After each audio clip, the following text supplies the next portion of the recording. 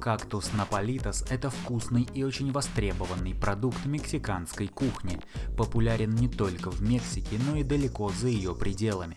Салат с маринованным кактусом наполитас и кусочками различных овощей готовят хозяйки и повара самых разных стран мира. Кактус не только вкусный, но и очень полезный продукт. Он содержит разнообразные витамины и микроэлементы.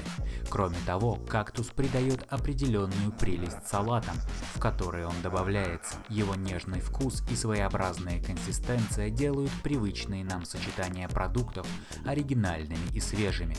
Состав – нежный кактус, вода, уксус, лук, морковь, растительное масло, соль и специи. Вес 794 грамма.